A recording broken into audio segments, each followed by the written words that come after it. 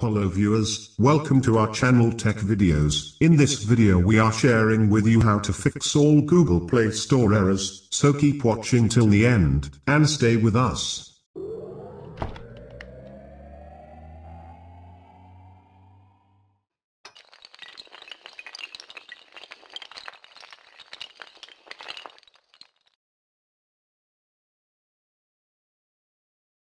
If you don't subscribe our channel, please subscribe our channel, and thumbs up like button.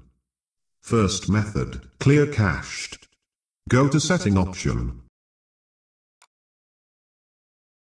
Then find apps or application manager.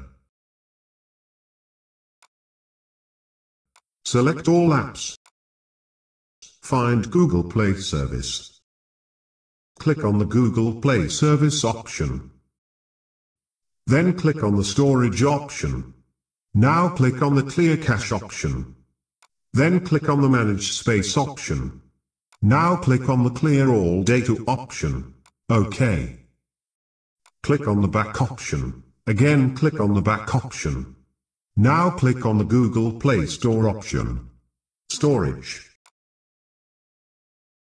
Click on the clear cache option, then click on the clear data option.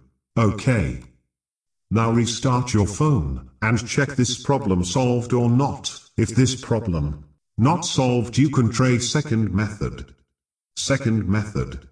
Go to setting option. Then find apps or application manager. Now click on the three dot icon at the top right corner. Select reset app preferences. The click on the reset apps option. Click on the back option. Then go to storage option. In here select internal storage. Scroll down the page. Then click on the cache data option. OK. Now restart your phone, and check this problem solved or not. I hope you enjoy this simple video. Share this video with your friends want to know how to fix all Google Play Store errors.